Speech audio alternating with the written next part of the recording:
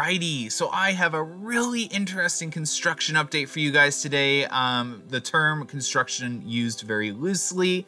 Um, a lot of you are probably here too because of the title. Um, it is not clickbait. So um, just to go a little further into explanation, for those of you that watched my video yesterday, um, footage from January 14th, um, you'll notice that there were no cranes on site. We were discussing some potential like just delay, and by delay, we were using that term loosely as well. Um, so there were no construction equipment or cranes on site that we could see. There was some weird things going on with track pieces. Um, and today is no different. So except for the crane is back, so I can definitely make out a crane. The construction equipment is working on the queue line for Yukon Striker. That's very evident. There's lots of lots of signage or theming being built around Yukon Striker's station and entranceway as you enter the pathway towards Yukon Striker's helix. Um, but what's very weird um, and very interesting is what's going on with the vertical loop. So there should be four pieces that are sitting and waiting to be installed. Now we are really far away, so anything that I'm reporting on in this video, I cannot confirm with 100% certainty. Um, what I can tell you is track pieces are for sure being removed from Yukon Striker's vertical loop, so that is some sad news, um, but I'll get further into that. Um, what I can also kind of make out, and again, I can't confirm because track pieces can be hidden in between things, behind things. It looks like two pieces of track are not on site that I can see from this angle. They're not in storage. So we have one in storage and we have two disassembled um, sitting near the uh, Immelmann loop and the vertical loop.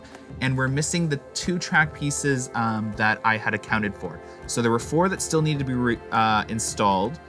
One was removed, and uh, as you can see, there's the photo on the right from January 8th and the photo on the left from January 15th. Um, so I can only make out three track pieces on site, two are unaccounted for.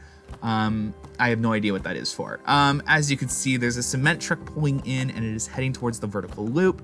On construction projects, things can go wrong, things can, may need to be re-poured or refitted, um, so it could just be that as well. Um, but it is definitely very interesting and very weird. Um, I will give it that. And uh, the timing couldn't be worse. uh, we are getting down to the last little bit. Um, all I'll say is construction projects always run into um, little bumps here and there, and stuff like this isn't out of the ordinary. Uh, Yukon Striker is very well um, on schedule to opening. There isn't any signs of it opening late. Um, the park hasn't said otherwise either, so don't go panicking. Um, this is normal on construction projects. Don't worry, Yukon Striker's fine. Um, but I will definitely be keeping a very close eye on what's going on with the vertical loop. This is very interesting. Um, I haven't seen anything like this in recent years during a construction project. Um, but uh, we have seen coasters needing to remodel stuff or redo things. And uh, yeah, the vertical loop is the first for a dive coaster, so who knows? Uh, maybe there's something they just need to refit. Maybe the concrete didn't cure properly. Um, it could be a number of things, and I can't even begin to speculate for you guys.